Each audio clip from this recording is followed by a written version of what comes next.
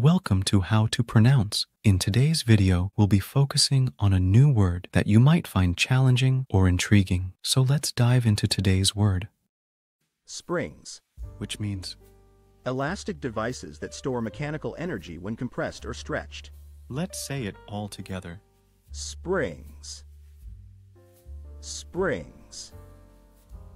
Springs. One more time. Springs. Springs. Springs. Thank you for joining us on this adventure in pronunciation. Remember, language is a journey, not a destination. Keep exploring, experimenting, and expanding your linguistic horizons. We'll see you next time.